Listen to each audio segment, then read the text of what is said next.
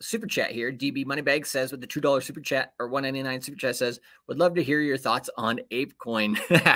my thoughts on ApeCoin is are or is my stance on uh, ApeCoin is that it's a coin designed essentially um, to make the rich richer, right? So to dump coins on you. So if you have uh, a board up Bored Ape yacht club, right?